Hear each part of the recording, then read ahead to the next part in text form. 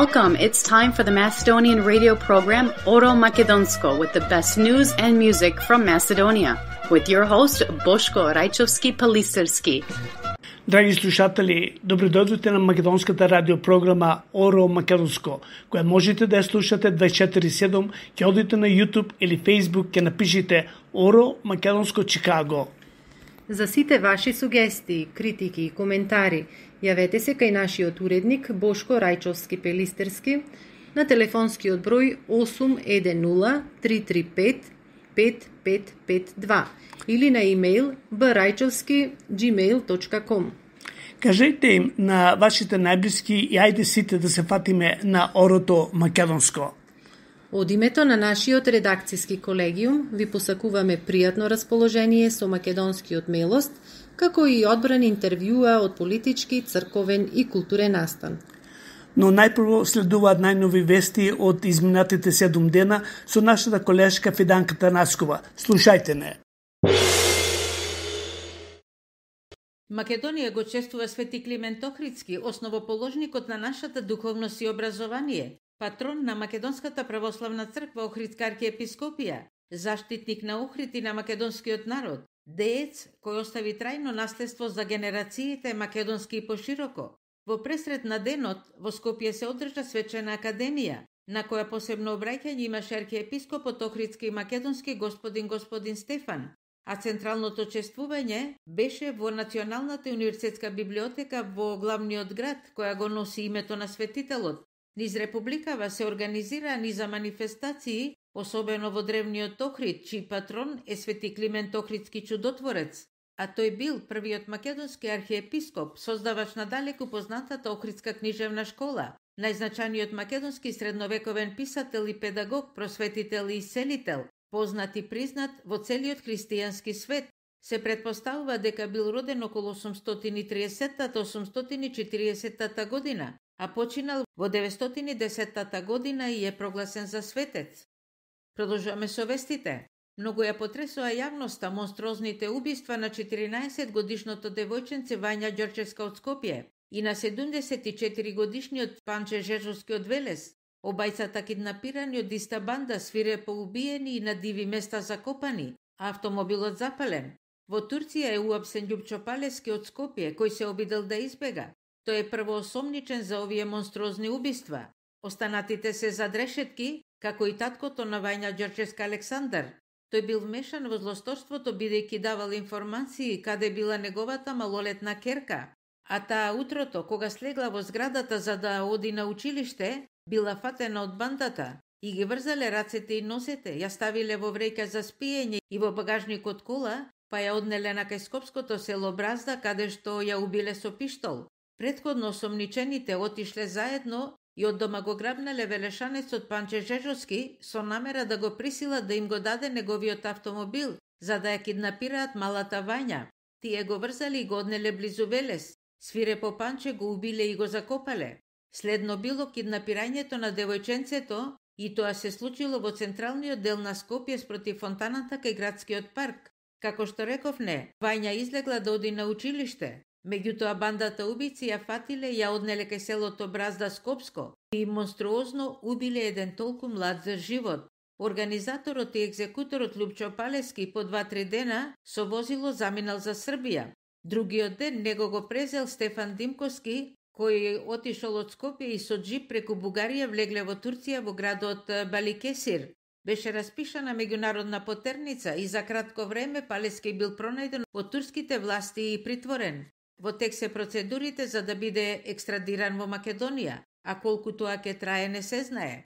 Во притвор е и возачот кој го однел од Србија во Турција и ја раскажал маршрутата каде се движеле. Од владеачката партија СДСМ искажаа пофалби за Министерството за внатрешни работи и министерот Оливер Спасовски.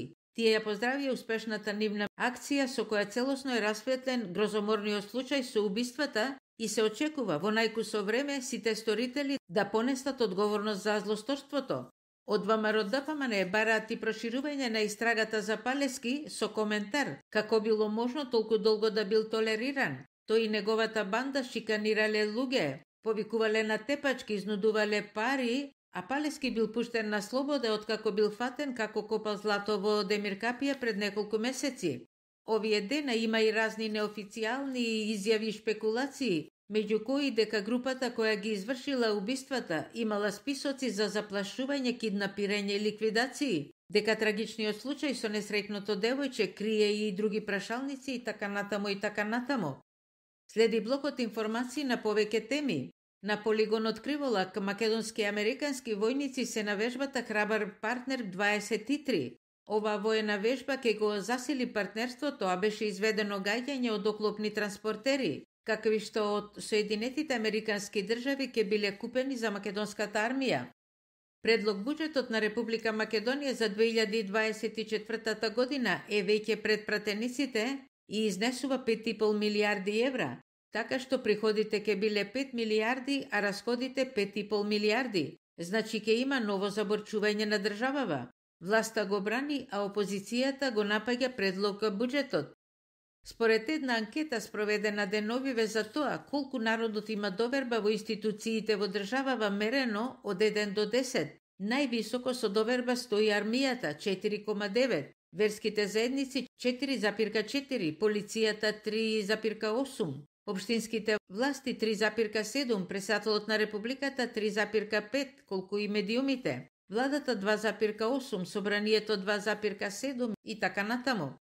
Премиерот Димитар Ковачевски во Европскиот парламент изјави дека членството во Европската Унија до 2030 година на Република Македонија е амбициозна, ама остварлива цел, а председателот на државата Стево Пендаровски вели, од избраните именувани функционери мора да работат и да градат, а не да крадат, Зашто без разлика за какви суми станува збор, корупцијата е корупција и не смее да се толерира. Една третина од луѓето изјавуваат дека биле изложени на притисок за корупција.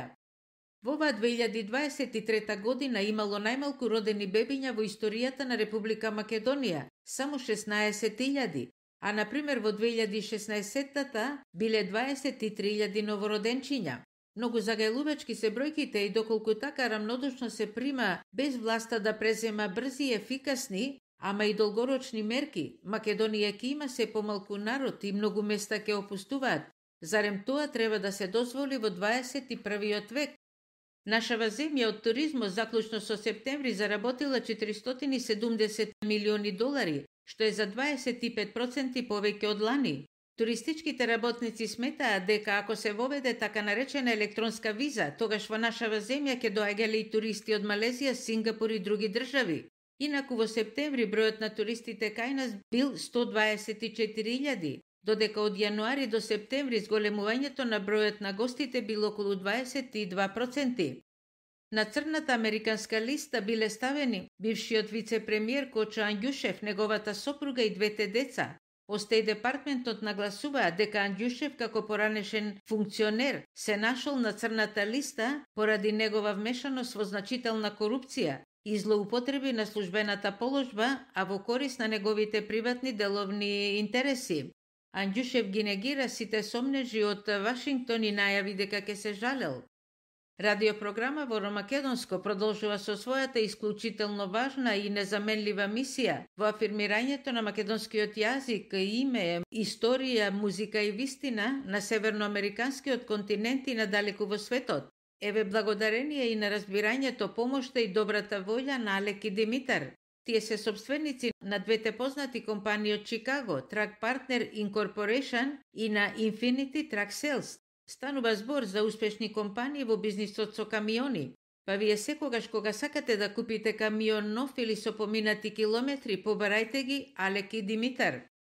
Уште три информации. Во Букуреш, во Музеот на романската култура, се одбележува Денот на македонскиот јазик. Во Романија Денот на македонскиот јазик се прославува 5 години и тоа е датум поврзан кога Македонската православна црква го одбележува својот патронен празник Свети Климент Охридски.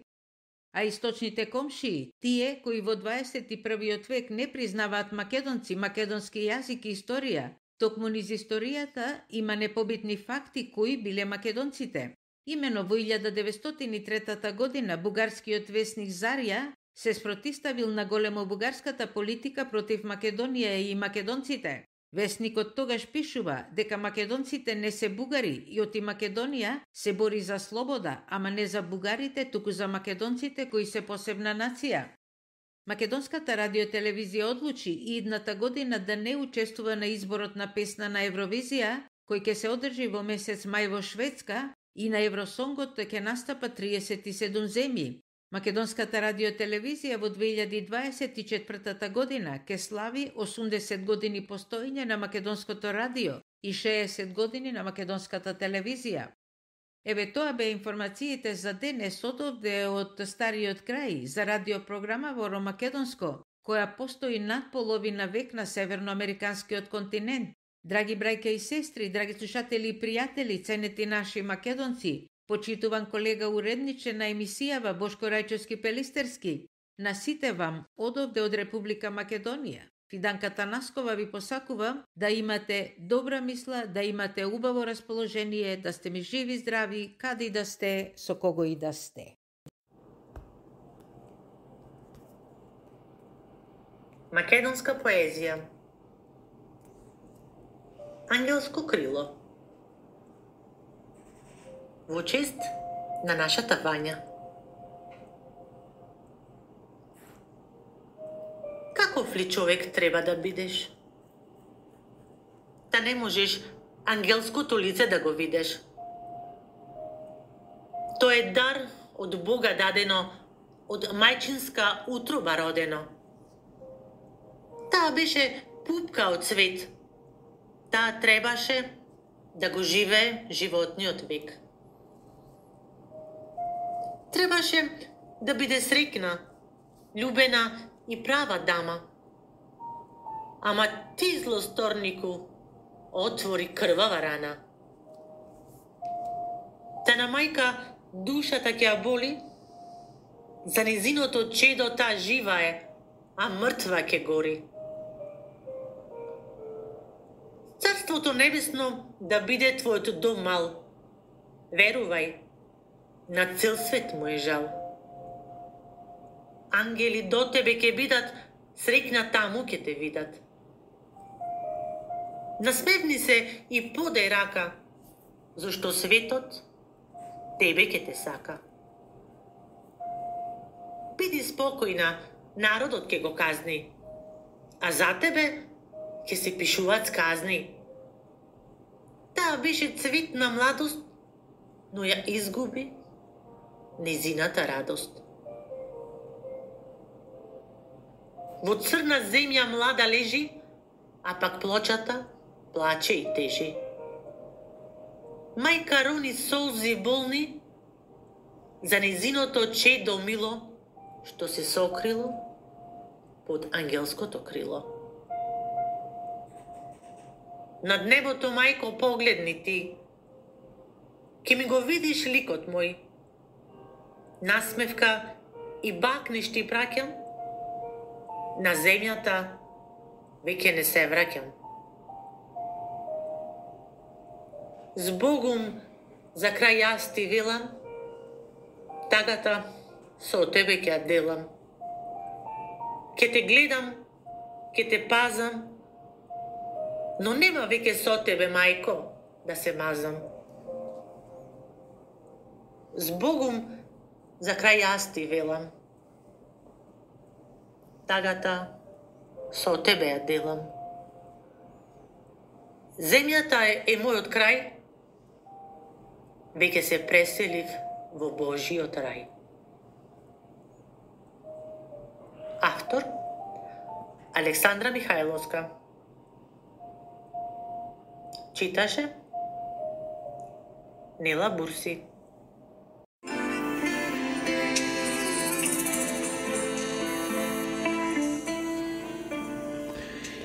посветено на земскиот и небесен ангел Вања Ѓорческа. Лете високо ангелу без болка.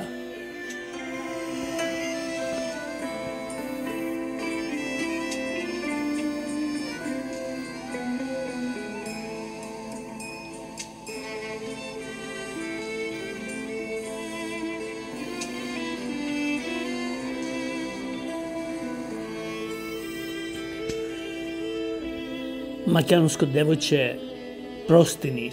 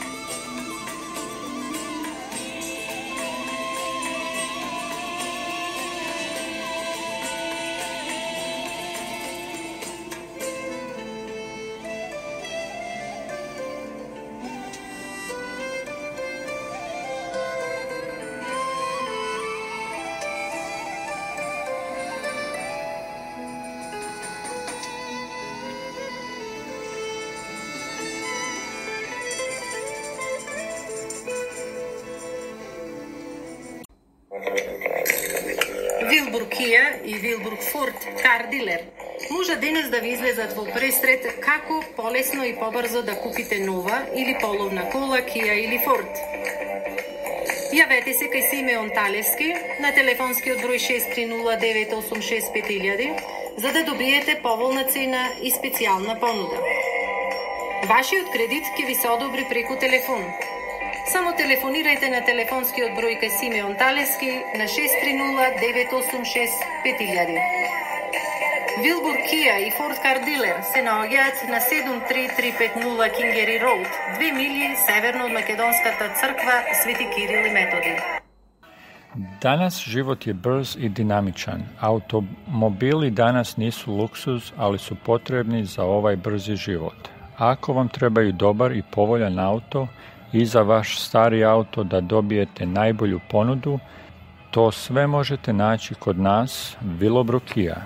Mi se nalazimo na 7301 South Kingery Highway u Willowbrook i naš telefon je 630 896 5000 i pitajte za mene Deni ili Trajče.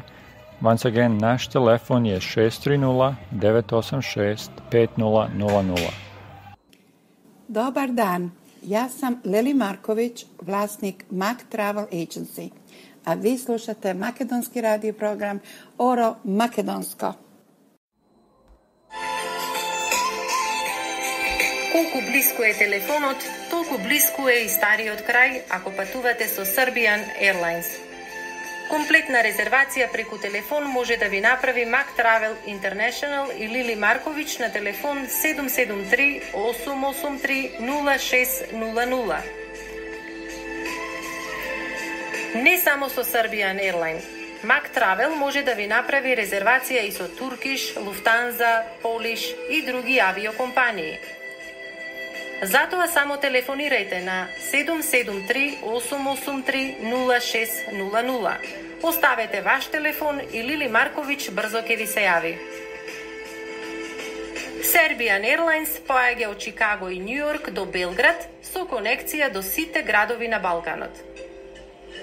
Време е вашиот одмор да го направите преку Mac Travel и Serbian Airlines.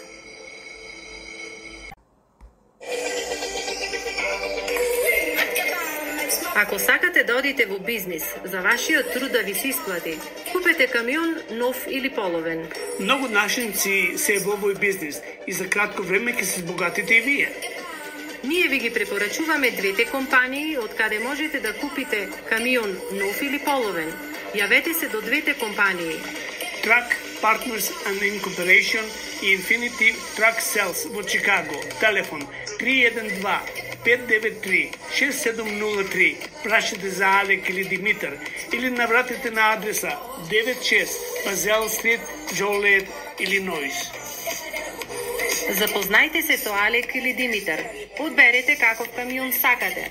Тие ќе ви помогнат преку нивната компанија да земете кредит. Телефон 312 593 6703.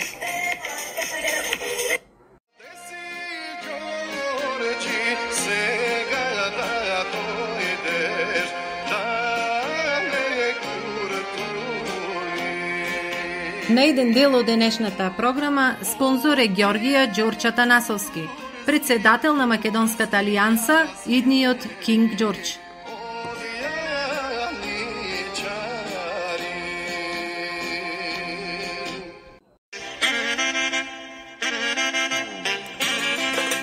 Вие ја слушате македонската радио програма Оро Македонско. 7 дена, 24 часа, ќе одите на Facebook или YouTube и ќе напишете Оро Македонско. Секоја недела со нова програма. За сите информации телефонирајте кај уредникот Бошко Рајчовски Пелистерски на телефон 810 335 5552 или на имейл braјчовски.gmail.com Ние персоналот на Оро Македонско ви посакуваме пријатно расположение со Орото Македонско.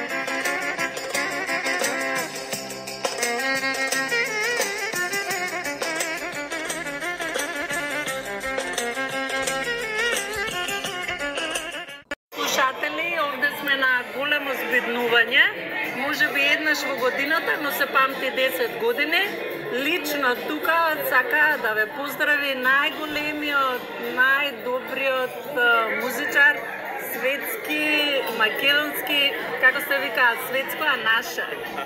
И благодарам, и благодарам онете на прекрасната најава. Голем поздрав до слушателите на Оро Македонско и најголем, најсрдечни емоции ви праќам да се чуваме, да се сакаме, да се држиме едни со други и да обстоиме во вечноста на сите полиња, и на традиционалното поле, и на светското поле, и да се гледаме само за убави работи. Ве поздравувам и да имате најубава, најубава, со напред да честита новата година, да имате прекрасна 2024 година. Ви благодарам и да знаеш дека те обожаваме, те сакаме, без разлика каде и да сме. Амин. Тоа беше новогодишниот поздрав од Владимир Четкар, нашиот познат интерпретатор. Спонсор на денешното интервју е Wilbrook Kia Ford Motor Company, телефон 630 986 5000. Драги слушатели, често пати сме имале интервју со Анета од Молика.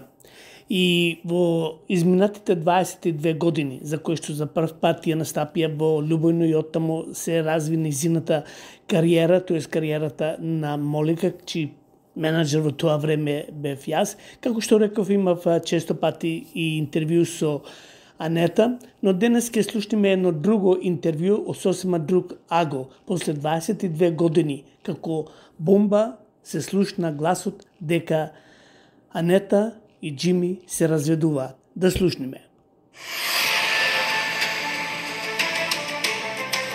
16 години бекстеч, верува, верувала ти или не, за прв пат интервју. чекавме, може би, да, може би го чекавме и правиот момент за да те, да те имаме. Некако во последно време се, се многу актуелна. Важи за да еден од вокалите кој што е доста почитуван како кај нас, така и надвор. Вокал кој што никого не остава рамнодушен, па слободно можам да го кажам и докажано. Ама и реално, реално е така. И глас кој што со кој што треба ние да се гордееме. Колку сето тоа, сите тие комплименти ти се, ти се терат?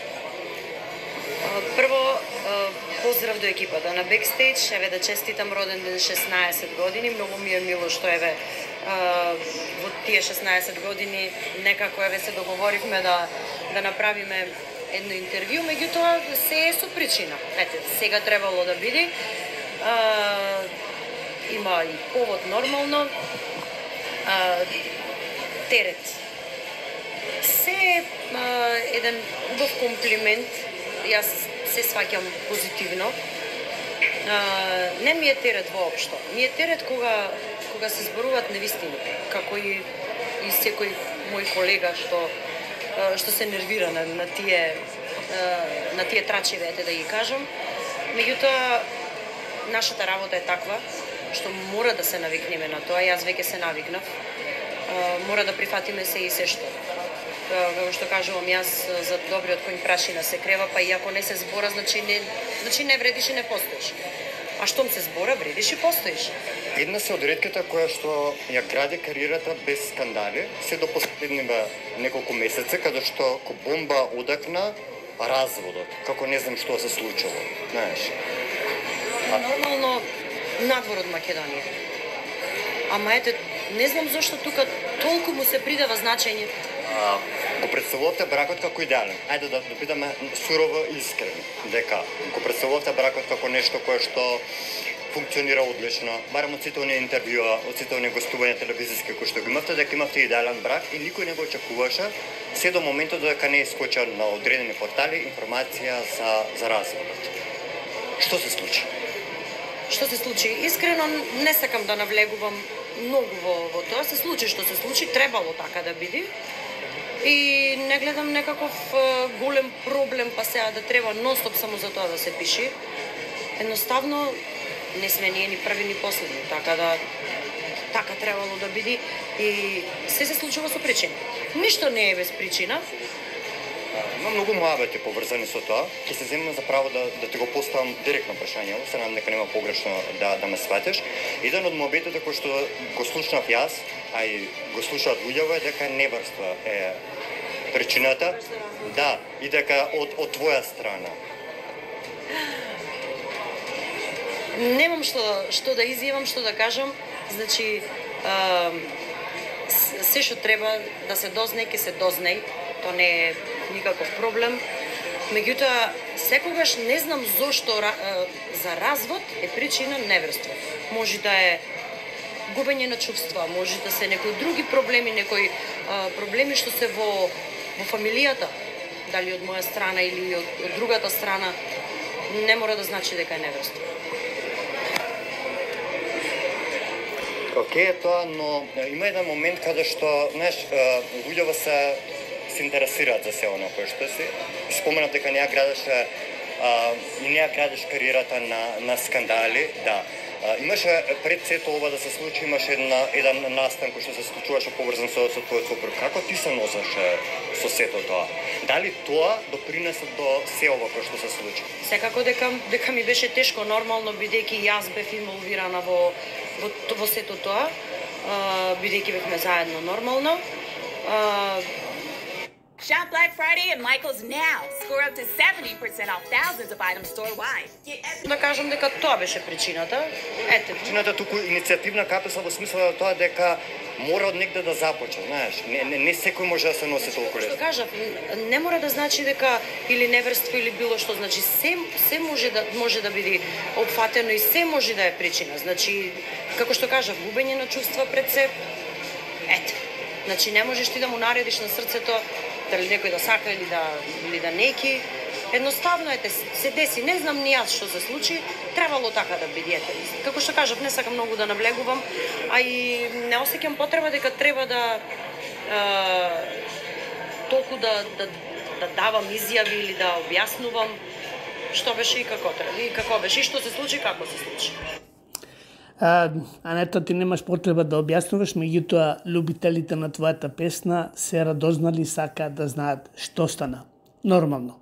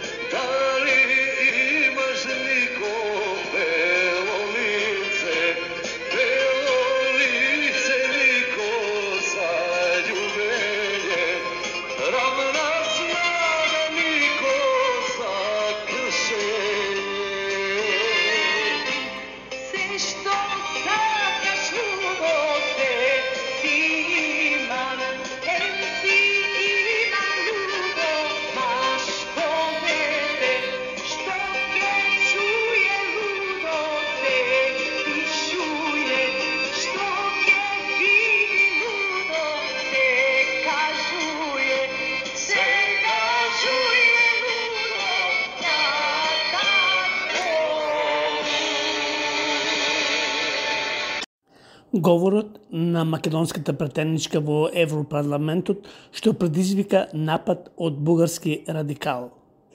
Почитувам господин Шидер, почитувани дипломати, амбасадори, представници на Европската Унија, Европарламентот, почитувана јавност. Борбата за владење на правото е една од фундаменталните борби од француската буржуаска револуција до денес за воспоставување на либерално општество и за развој на демократијата. И оттаму и ние како земја, значи која што партиципира да стане членка во Европската унија, имаме своји искачувања и своји падови во поглед на ова прашање. Секако а, нашите услови се многу поназавидни од тие на наша, нашиот сосед, источен сосед Република Бугарија, како и а, не може да се споредат во однос на борбата за со корупцијата на развиените системи на Европската унија, незините држави членки и ние оние кои што 30 и нешто години сакаме да станеме дел од тој систем а, се потешко и потешко ќе станува доколку Европската Унија не разбере дека ние припаѓаме во европскиот организам, не само географски, туку и стратешки. Република Македонија а, а, искрено од самите почетоци на осамостојувањето по дисолуцијата од поранешната Југословенска федерација, искрено го насочи своето делување во однос на евроинтегративниот процес и тоа не е флоскула, туку желба на сите македонски граѓани без оглед на етничката припадност. Еден од главните фактори кои што може да ви го докажат тоа, тоа она што јас го тврдам тука, тоа се секако а, засилената миграција, особено на младата популација која себе си се пронаоѓа во европско, европскиот западен концепт и која што на вистина е притисната и укушена од етничките разлики и прашањата од 19. век, како што и ова со нашиот источен сосед. Би сакала со најдобра намера и на господинот Джамбаски да му предочам неколку аспекти кои може би ќе му бидат интересни и ќе ги земе пријателски како сугестија, а никако како напад или како навреда. А, господина Джамбаски, ние сме овде 8 члена делегација од Македонското собрание и верувајте кога би, би не запознале, сите исто достатно како колегата Милошовски можеме да се справиме на овие прашања со вас. А, особено ме, ме разочарува што вие изразувате како европратеник мизогинија која што е недозволива во 21 век. Процентите мора да бидат темелени на квалитет, а не на квантитет. Тоа е првото. Втора работа. Она што мене особено ме интересира, бидејќи сум професор по историја на право и државно правен историчар покрај тоа што сум актуелно и политичар, сметам дека оние сите оние фактори кои што алудираат на фашизам и на нацизам мора да бидат забранети во Република Македонија и се забранети. Значи никогаш бугарите, бугарскиот народ и бугарската држава не се податак. Така. барем не од оние луѓе што јас ги познавам. Се согласувам дека треба да направиме реконсилијација или илустрација како сакате во однос на жртвите во бившиот комунистички режим. Јас сум исто поборник за тоа како и вие. Имаше во бивша Југославија многу процеси на луѓе кои што беа стигматизирани како бугари и судени за тоа.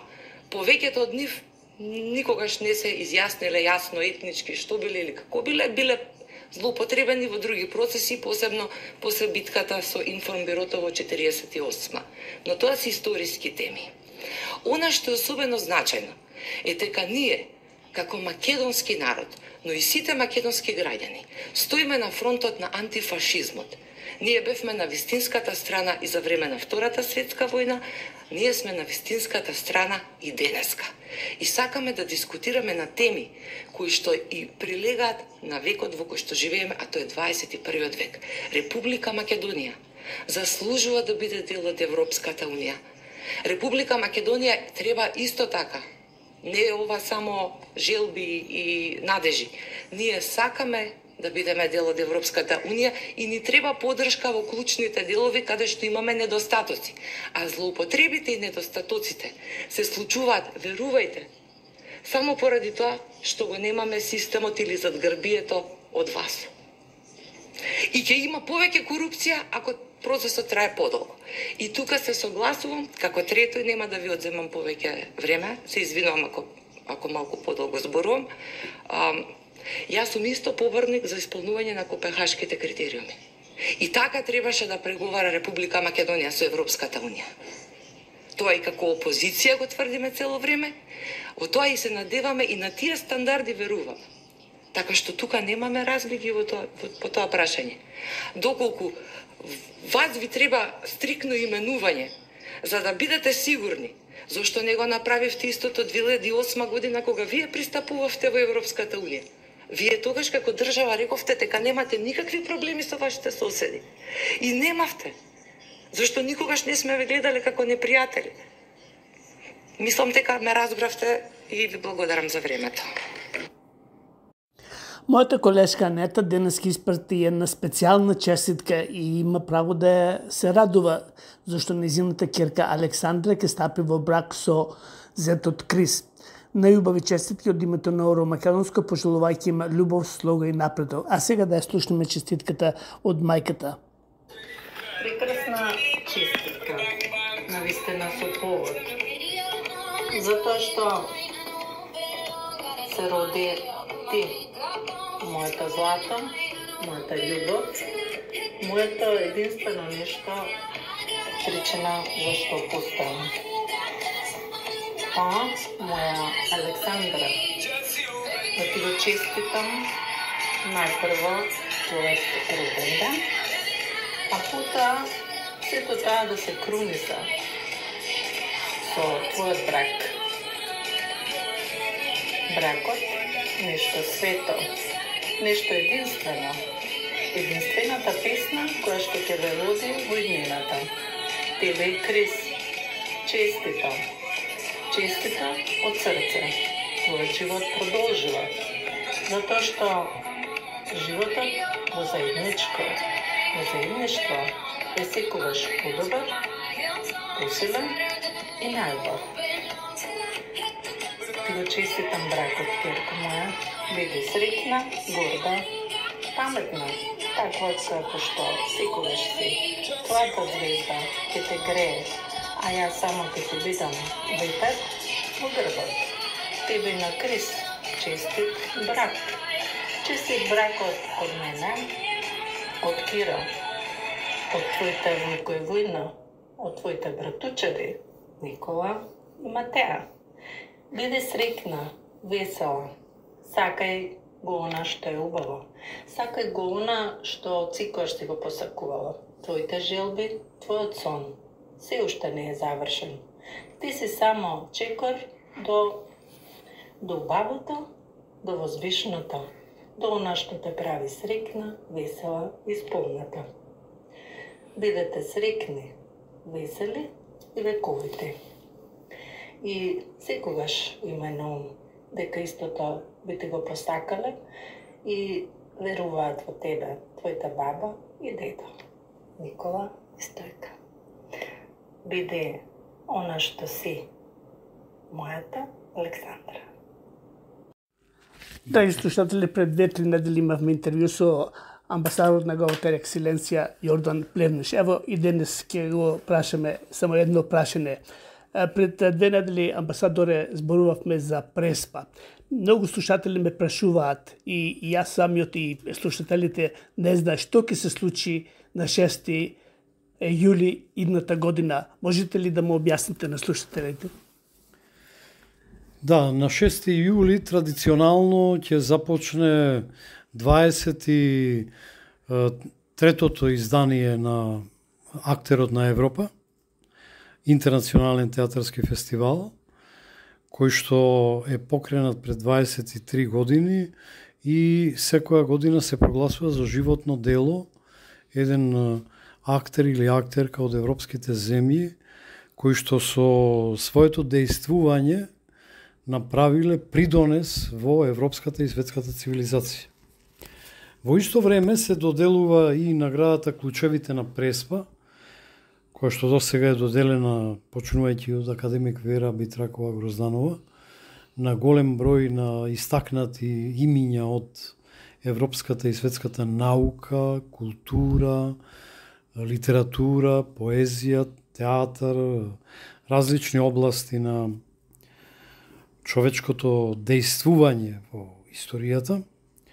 И таа награда, Клучевите на Преспа, ќе биде доделена за животното и уметничко дело на Бошко Рајчовски Пелистрески, кој што е припадник на преспанската цивилизација и клучевите на Преспа ќе му бидат доделени за неговото уметничко и е, новинарско творештво, бидејќи со своето дејствување меѓу Македонија, меѓу Соединетите Американски држави и на брановите со своето радио на целата земјина површина, ќе биде овенчано неговото творештво со клучевите на Преспа, која што ќе биде на награда која што го поврзува и со преспанските извори на цивилизацијата и со неговата припадност кон Македонија и македонските иселеници на секаде по сите меридијани.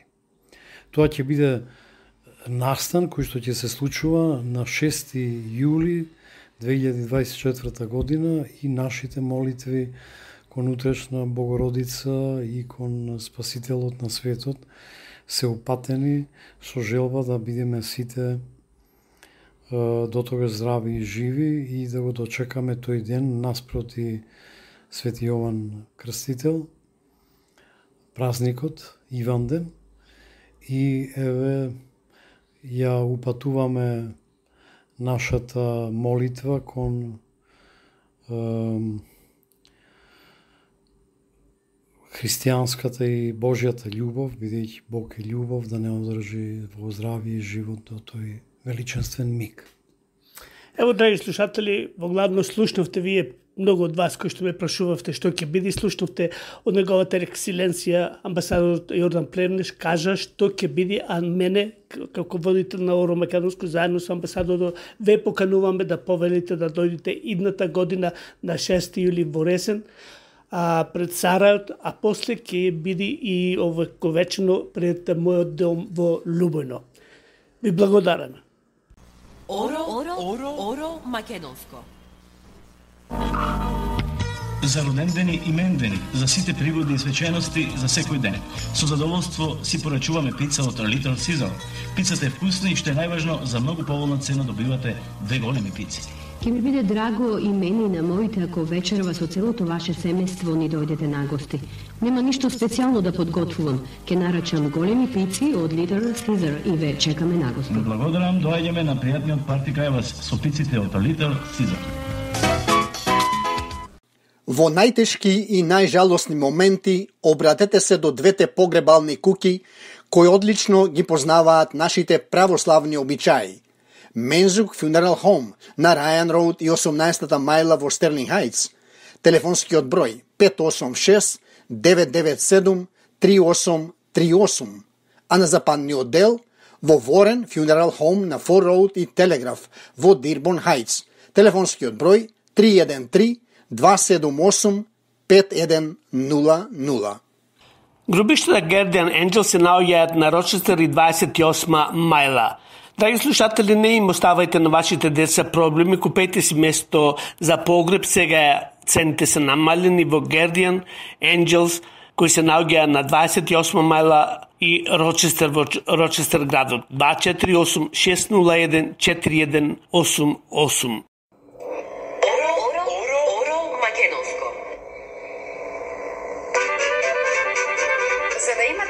Дебели заби и прекрасна насмевка. Обратете се во заболекарската ординација на доктор Луис Кацис.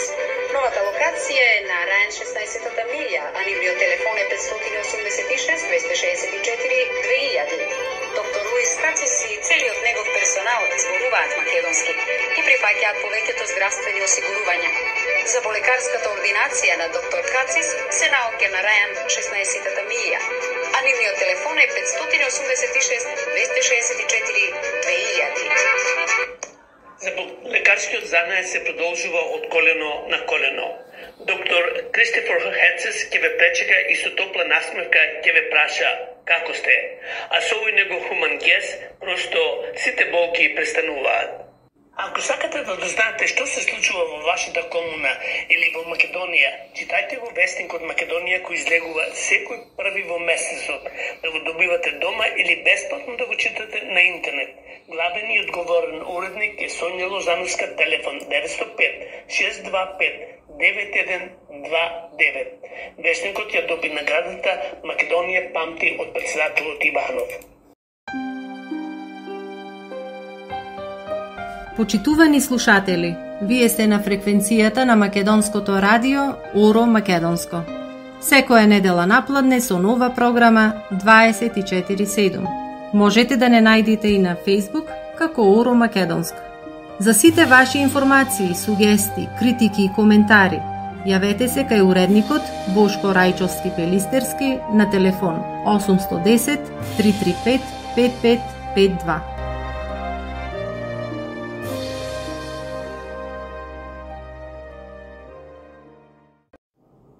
Секогаш знаеш дека само контролата е многу важно за постоењето, живењето и функционирањето. Работи кои можете да ги контролирате. Вашиот став, било како и да е.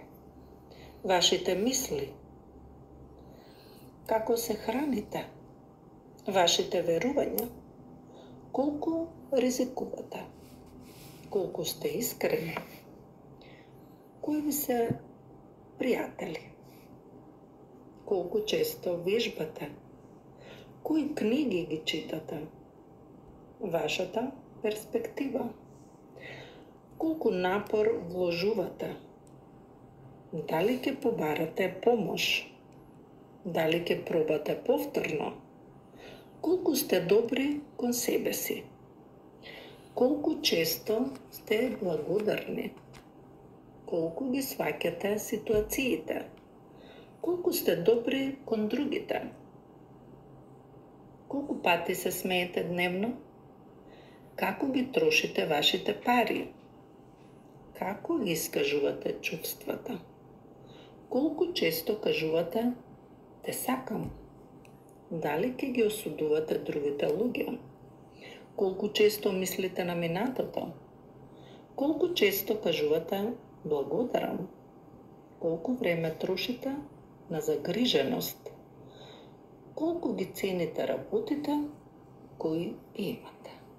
И секако, кога некогаш ќе поминат годините, кога едноставно ќе се завртите зад себе, ќе видите колку овие прашања на вистина сте можеле да ги контролирате, сте можеле да ги спроведете, сте можеле да ги имате на ум, но сте ги составиле. А сега животот е пред вас. Ајде, кој е наред? Јас сум докторе. О, здраво Никола, здраво, како си?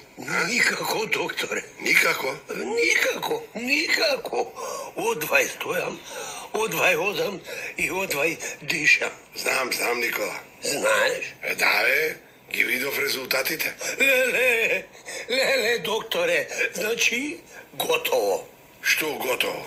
Па да викнам нотари да почнам да пишувам тестамент. Тестамент? Зошто? Како зошто, бе, докторе? Па се знае зошто се пишува тестамент. Моите наследници да не си ги вадат очите по судови, а мене да не ме колнат и на оној свет. А зошто тебе ти се брза на оној свет, бе, Никола, а? Веќе ти издодеа на овој свет? Мене? У, пу, пу, пу, пу, пу, пу, скраде, како ми издодеал бе, докторе. Никогаш не ми се живеело како што ми се живее сега. Ја? Жими тебе. Цел живот сонував да дојдам до пензија, па да си ја земам бабичката и заедно да надоместиме се што сме пропуштиле до сега. Убаво, убаво. Убаво, убаво. Е, ама не ми било судено, докторе. Не ти било судено? Зошто? Како зошто бе, докторе? Па сега, еве, пред малку ти рече дека си ги видел резултатите. Да, да, да, ги видов. Значи, готово. Ми дошол крајот и... Ај, ај, кажи сега, ракче. Молам? Ајде де, ајде, кажи слободно. Јас веќе се помирив со судбината. А, не, не, не е ракче, Никола. Не е ракче? Не. Леле, леле, нешто уште полошо. Абе, доста, бе, доста измислуваш. Не ти е ништо. Како, како не ми е ништо, а што не можам да стојам, да одам и, и, и да дишам? Е, тоа е, тоа е затоа што ти фалат некои минерали. Ми фалат минерали? Да. Какви минерали, бе, докторе? Железо, цинк, бакар. Железо, цинк, бакар? А, да, да. Леле, леле, ама сум глуп. Па да знаев, ќе одев во отпад и ќе си купев некој кило, а јас цело време бркав мој термин и трчав по доктори. Пу, пу, пу, јас бе.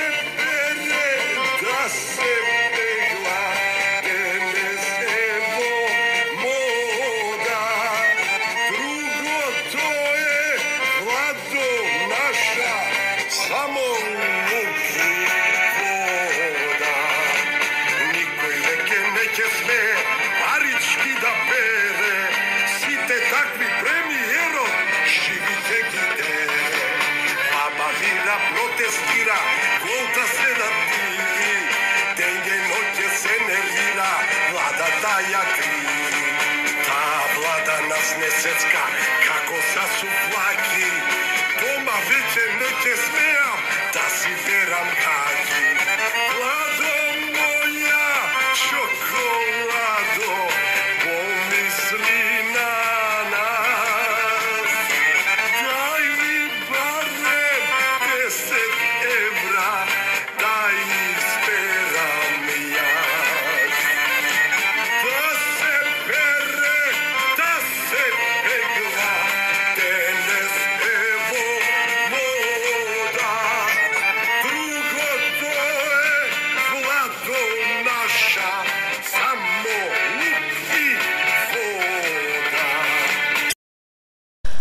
Почитувани слушатели на македонската радиопрограма Оро Македонско Детройт и Чикаго.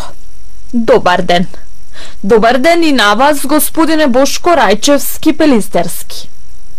За најновите случувања од Република Македонија следете не во продолжение. Барањето за екстрадиција на Љупчо Палевски Палчо ќе биде пуштено денеска и преку електронската пошта и преку нашата амбасада и верувам дека после добивање на нашето барање ќе контактираме директно и со министерот за правда на Турција. Изјави министерот за правда Кренар Лога во изјава за медиумите пред панел дискусијата за корупција во високото образование. Лога истакна дека верува дека ќе добиеме позитивен одговор за кратко време. Турција е стратешки партнер на Македонија за многу други побитни прашања од ова. Јас верувам дека за релативно кратко време ќе добиеме позитивен одговор и осомничениот ќе биде меѓу нас, рече министерот. Во однос на временската рамка тој посочи дека е неизвестно бидејќи како што рече не знае колку осумничениот ќе ги искористи правните механизми да се жали. Барањето за екстрадиција што министерот за правда го потпиша вчера доаѓа по апсењето во Турција на прво осумничениот за убиството на Вања Ѓорчевска и Панче Жежовски. Меѓународната потерница по него беше издадена на 4 декември, а апсењето се случи утредента. Палевски е осомничен за две кривични дела, грабнување и две убиства на свиреп начин. Во истрагата на јавното обвинителство се опфатени уште четири лица, односно со извршителите Вели Борманев, Владко Кешишов и Боре Видевски, кои ја призна вината. Во случајот, според истрагата, е вмешан и таткото на Вања Александар Ќорчевски, кој се сомничи дека споделувал информации со останатите осомничени за движењето на неговата керка, а за кого обвинителството информираше дека ги негирал действијата.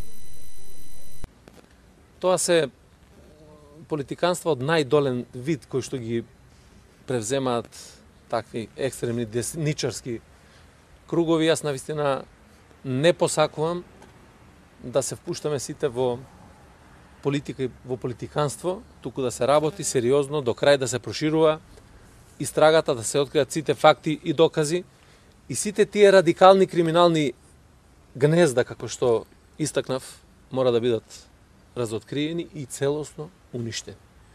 затоа што хранењето на таквите луѓе на мотивите така натаму може да да предизвикува сериозни последици. Секако дека тука се испитуваат и многу видови на комуникации кои што биле изминатиот период. И со осумничените, и со лица надворот од оваа група, така да сметам дека а, ќе се дадат и многу други одговори во однос на конекциите и така натаму кои што кои што биле. Меѓутоа тоа е важно реков за истрагата за да можат тие радикални структури да бидат целосно разбиени. Што се однесува до коментарите на лидерот на опозицијата, тој во многу случаи се има поставено и како истражител и како обвинител и така натаму. Нема да навлегувам во тоа со што сака да се бави. Меѓутоа, прикривање на докази, за кои што вели дека ги има, исто така кривично дело, и затоа доколку има докази, треба сите да ги достави до Министерството за внатрешни работи или до обвинителството. Бидејќи се работи на вистина за еден грозоморен чин, кој што е направен од нелуѓе и кои што треба да бидат изведени пред лицето на правдата и согласно законите да бидат најстрого казнати. Парламентарните политички партии постигнале договори изборите следната година да се одржат на 8 мај, односно првиот круг на председателските избори да се одржи на 24 април, додека вториот круг од председателските избори и парламентарните избори да бидат на 8 мај. Ова го соопшти премиерот и лидер на СДСМ Димитар Ковачевски во изјавата за медиумите по лидерската средба во собранието. Согласно законот, техничката влада, односно пржинската влада, ќе има од 28 јануари и законската обврска која јас како премиер ја имам, ќе се исполни и секако и коалицијскиот договор кој го имаме во рамки на коалицијата ќе биде исполнет. Можам накратко да кажам дека донесовме три заклучока. По првата тема, а тоа се евентуални уставни измени, ставот на ВМРО ДПМН, коалицијата за обнова на Македонија, е дека во овој момент услови за такво нешто нема, од познати причини артикулирани во јавноста од моја страна и од представници на коалицијата за обнова на Македонија многу пати. Што се несува по второто прашање, тоа е измени на изборниот законник согласно препораките на ОПСЕ и ОДИР, постигнавме согласност, истите ќе влезат во собраниска процедура, што значи дека изборниот законник во периодот што следи ќе се менува, иако морам да напоменам дека не е испочитувано правилото 6 месеци пред почеток на кампања, односно 6 месеци пред почеток на кампања за изборен процес, бидејќи мајки преди дека согласноста за третото прашање, а тоа е првиот круг председателски избори да се случи на 24 април 2024 година, а вториот круг председателски избори да биде заедно со парламентарните избори на 8 мај. Според Ковачевски на лидерската средба имало исто така исклучително широк консензус за забелешките за изборното законодавство, односно изборниот законник согласно препораките на ОПСЕ ОДИХР. Влада се прави со мнозинство гласови во собранието и Европскиот фронт е коалицијата која ќе формира следната влада, ќе го предложи победничкиот кандидат и со председателот на државата, избран на изборите 2024 година, предложен од Социјалдемократскиот сојуз на Македонија, коалиционите партнери, кои што се со европска идеја и парламентарното мнозинство кое ќе победи на изборите во 2024 година, Северна Македонија ќе биде земја која што ќе биде следната земја членка на Европската Унија.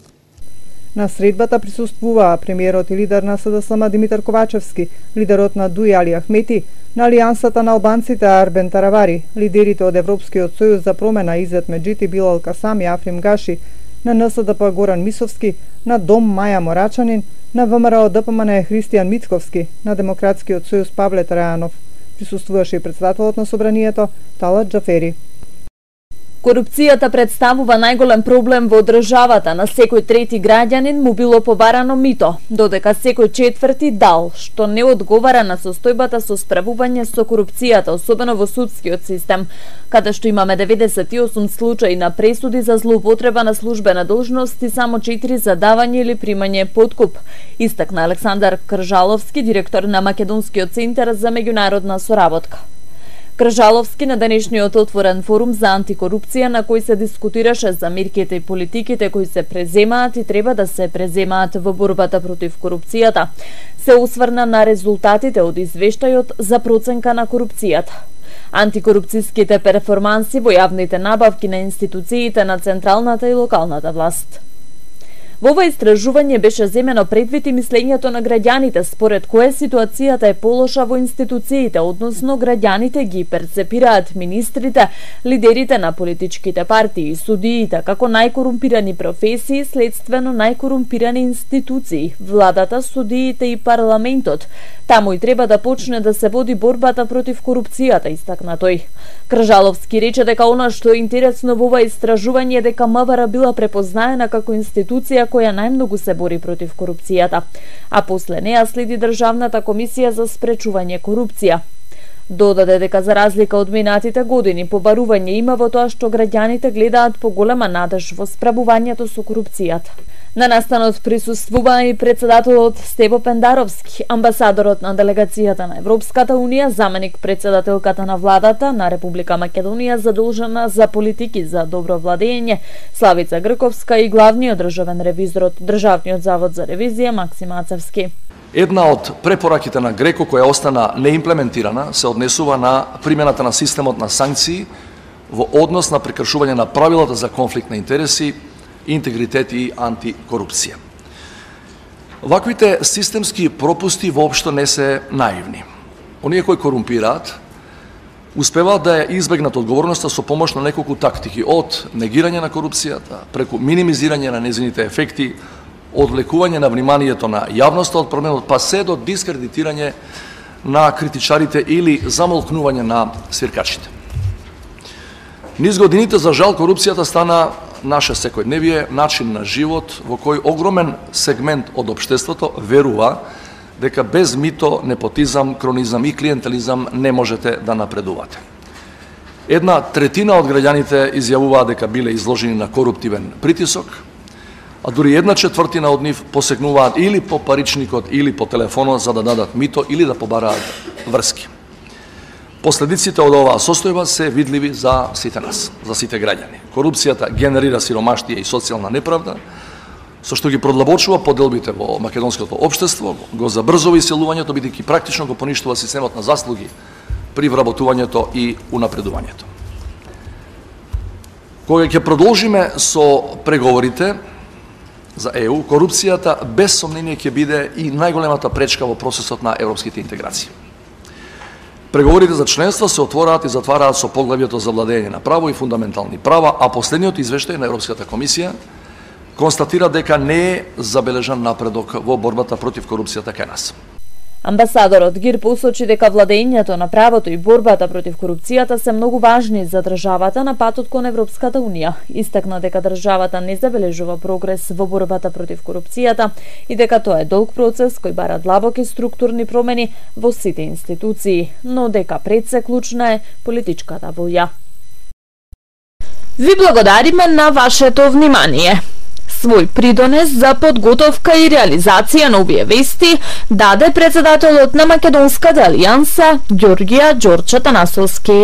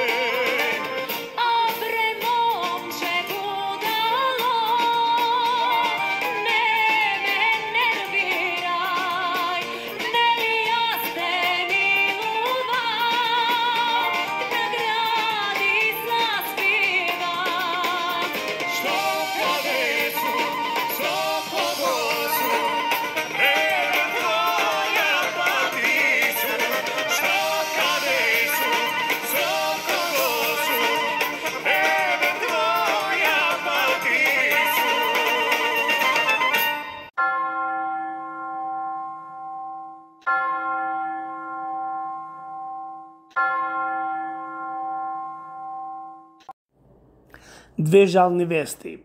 На 94 годишна возраст во Торонто почина една љубанска домакинка Миланка Каледжиоска. Остана да жалат керката Љуба, зетот Васил со фамилијата, а на тој свет ќе ја пречека сопругот Светко и синот Ристе. На 64 годишна возраст почина Аница Србиновиќ. Останаа да жалат сопругот Трпко Тони, со кој беа 47 години во брак. Бог да ги прости и вечни памја. Со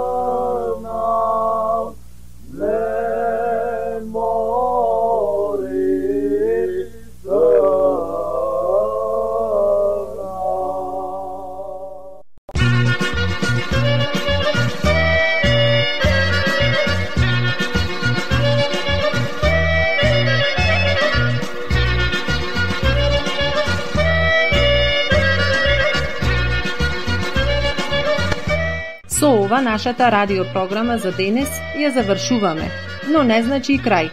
Слушајте не 247, а секоја недела со нова програма. За повеќе информации, јавете се кај нашиот уредник Пошко Рајчовски Пелистерски на телефонскиот број 810 335 5552. Бошко, ајде сите заедно да се фатиме на орото македонско? На тешкото колешке.